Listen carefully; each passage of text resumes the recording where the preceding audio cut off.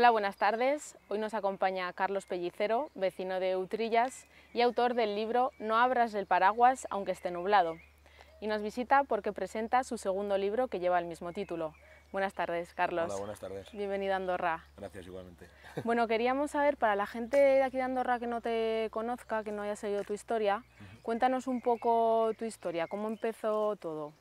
Pues bien, nosotros, como tú has dicho, vivimos en Utrillas, yo soy de Albalate del Arzobispo, y bueno, hace cinco años y medio pues tuvimos un niño y nació con una parálisis cerebral severa, muy severa. Y bueno, hemos pasado una serie de trámites, de tratamientos, intentando buscar los milagros para que mi hijo pudiera mejorar. Tenía una lesión cerebral del 97%.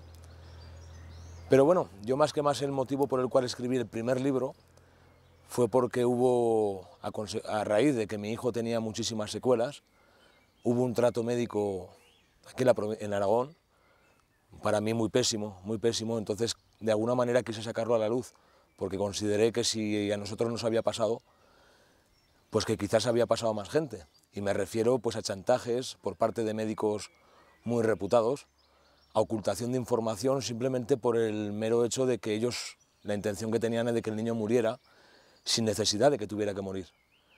Entonces, claro, yo cuando nos enteramos por médicos que llegamos a conocer en Madrid, a través del teléfono nos iban informando de los pasos que ellos tenían que dar, que los médicos que tenían a mi hijo en sus manos, ellos tenían que hacer una serie de cosas que no hacían.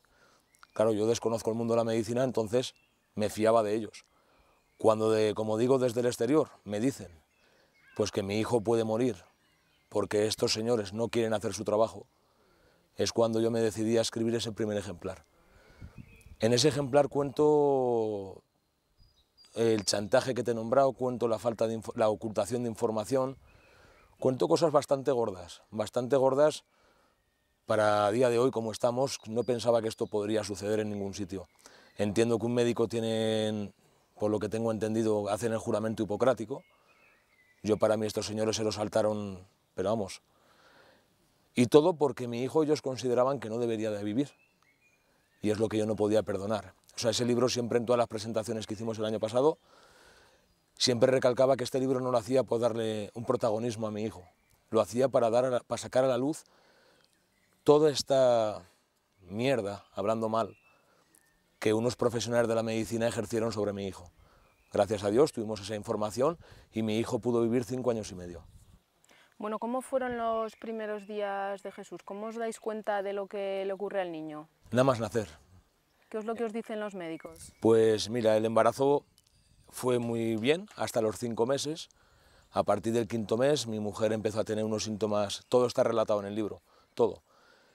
A partir del quinto mes mi mujer estuvo a punto de morir en varias ocasiones, pero en todo momento nos decían que el niño estaba perfecto.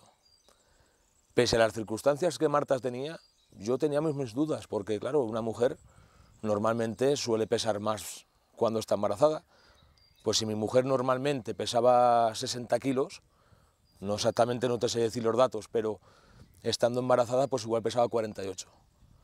Pero el niño estaba bien, según decían los, estos grandes médicos, decían que el niño estaba perfecto. Ahí hemos considerado, por otras informaciones que nos han llegado, hemos considerado que se les fue de las manos y no sabían cómo parar esto ya. Entonces, bueno, nació el niño, en ese momento es cuando vienen todos los problemas, Viene toda la lesión tan grande que él tuvo, tuvo hidrocefalia, transfusiones de sangre en el momento de nacer fueron no sé cuántas, muchas. Y en fin, el cerebro lo tenía pues dañado al 97%. Yo no juzgo esto, no juzgo esto porque yo entiendo que los médicos son personas, no son máquinas, se pueden equivocar. Pero lo que no, lo que no puedo perdonar es que por el mero hecho, como te he dicho antes, de que un niño tenga lesión cerebral, si los padres no se enteran de nada, le hubieran quitado el medio sin ningún tipo de problema. Y yo encima les hubiera dado las gracias pensando que han hecho todo lo que tienen que hacer. Y eso es lo que yo relaté en el primer libro. Pero como, no sé si os imagino que os habéis enterado, el 25 de enero mi hijo falleció.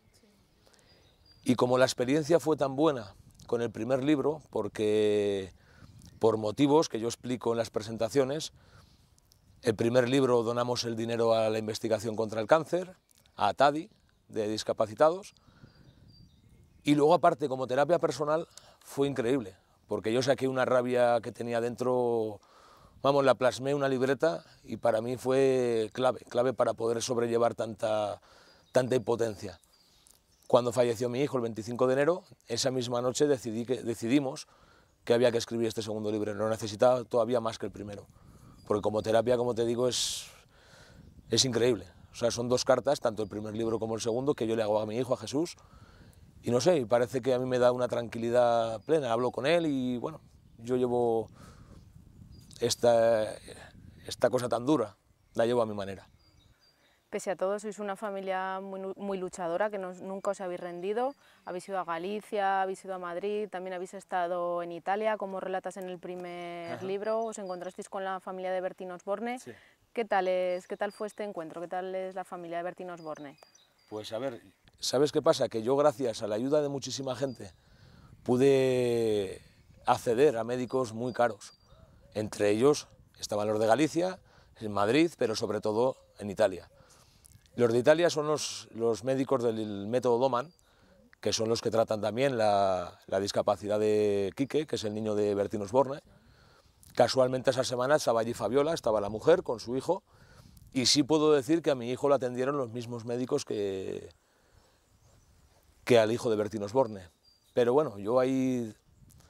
Mi hijo no es igual que el hijo de Bertino Osborne, evidentemente, entonces hay cosas que yo no puedo relatar en el libro pues porque no, no me interesa tampoco entrar en una guerra con nadie. Pero sí que es cierto que no todos los niños son iguales, por supuesto. Bueno, una vez que se estabiliza un poquito Jesús, ¿es cuando te decides a escribir o en qué momento clave sientes esa necesidad? Tú lo has dicho, cuando mi hijo nació, a lo largo de dos años y medio, casi rozando los tres años, estuvo en la cuerda floja a diario. O sea, cada día que pasaba era una batalla ganada, porque mi hijo estuvo a punto de morir pues como digo, cada día, cada día. Luego se estabilizó gracias a un método que practicábamos, que era el mismo método Doman, pero practicado desde Madrid, y bueno, conseguimos que mi hijo saliera del peligro, sabíamos la lesión cerebral que tenía tan grande, pero lo aceptábamos de muy buen agrado. Éramos felices con él, muy felices, la verdad. Bueno, ¿qué, ha llevado, ¿qué le ha llevado a un padre a escribir este segundo libro para narrar la experiencia de su hijo?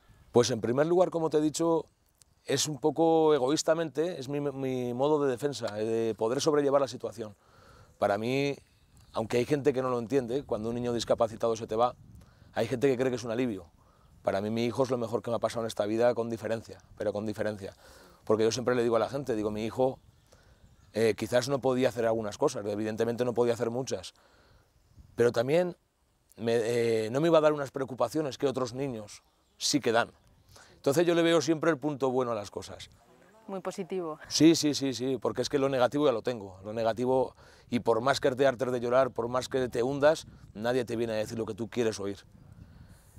Y por otro lado, lo que queremos es simplemente devolver, devolver toda la ayuda que mi hijo ha recibido. Mi hijo lo ayudó al Balate Arzobispo, lo ayudó, lo Utrillas, lo ayudó gente de Andorra, lo ayudó gente de Tarazona, de Gea los Caballeros, de muchos pueblos, y ahora solo queremos simbólicamente, ¿cómo? Pues devolviendo con la donación de lo que se saque de estos libros a causas de las que consideramos que nadie está libre, como ha sido el cáncer, como es la parálisis cerebral, ahora es la esclerosis múltiple y algunas otras más, que ahora mismo... Bueno, ¿por qué has elegido el mismo título para este libro? porque esta frase de no abras el paraguas aunque esté nublado te lo dijo un familiar en un momento delicado, tal como comentas en el primer libro. ¿Por qué has elegido este, este título y qué significa esta frase para ti? Pues mira, es que cuando estás en momentos que tocas fondo, pero mucho, o sea, que es que yo creo que no tiene salida por ningún lado, la madre de un buen amigo mío y un compañero de trabajo me llamó y me dijo esto. Yo, claro, estaba muy hundido y me dijo, dice, Carlos, dice, todavía no está lloviendo. Dice, ¿para qué abres el paraguas? Dice, sabemos que puede llover.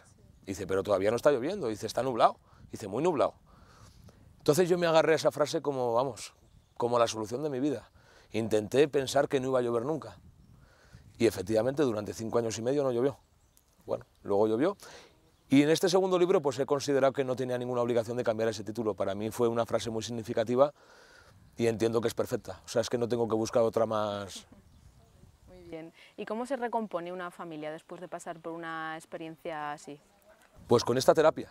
Yo a base del libro y de saber que el año pasado, bueno, hemos donado ahora, donamos 2 millones de 12.000 euros al cáncer, 2.500 euros más a TADI, y ahora pues intentamos seguir ayudando a otras causas. Entonces yo creo que mi hijo, si me lo pudiera decir, me estaría pidiendo esto. Por eso podemos sobrellevar la situación, podemos hablar de mi hijo con toda libertad del mundo sin tener que estar llorando a cada momento, porque si él, estoy seguro que pudiera pedirnos algo, sería que estuviéramos bien, como nosotros queríamos todo lo mejor para él, y que siguiéramos ayudando todo lo que él ha sido ayudado.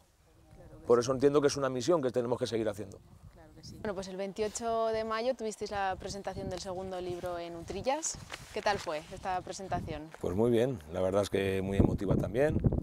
De hecho, vinieron a hablar las asociaciones beneficiarias, explicaron lo que es cada enfermedad y demás. Y muy bien, siempre muy, muy arropados por toda la gente que nos conoce y muy contentos, la verdad. ¿Dónde se puede adquirir el libro? Bueno, tanto el primero como el segundo aquí en Andorra. Pues en principio en las presentaciones, ahí llevamos del primer ejemplar, del segundo, y luego sí que dejamos en puntos de venta en cada pueblo donde presentamos el libro. Será en alguna librería, en algún, en algún comercio, seguro que dejaremos. ¿Qué tal fueron las ventas del primer ejemplar? Pues muy bien, se vendieron, hicimos 2.400, en primer lugar hicimos 1.200, pensando que eran muchísimos y, en, las, en dos presentaciones se acabaron. Entonces hubo que hacer rápidamente otros 1.200 y al final se vendieron todos. Y en este año, en este segundo libro, hemos, hemos hecho 3.000 ejemplares del segundo libro y 550 del primero, porque sabemos que hay gente que todavía no tiene el primer ejemplar. Bueno, ya para finalizar, ¿nos puede recordar a qué, a qué entidades vais a destinar el dinero recaudado? Pues sí, pues ¿sabes qué pasa? Que hay muchísimas causas, nunca encuentras cuáles son más apropiadas. Y nos hemos decantado por esclerosis múltiple en Teruel, eh, ASAMME en Teruel, que es de enfermedades mentales, luego en ASPACE en Zaragoza, que es de parálisis cerebral, y Neocortes, Neocortes, que es la clínica donde mi hijo iba, porque hay niños que por temas económicos no pueden acudir.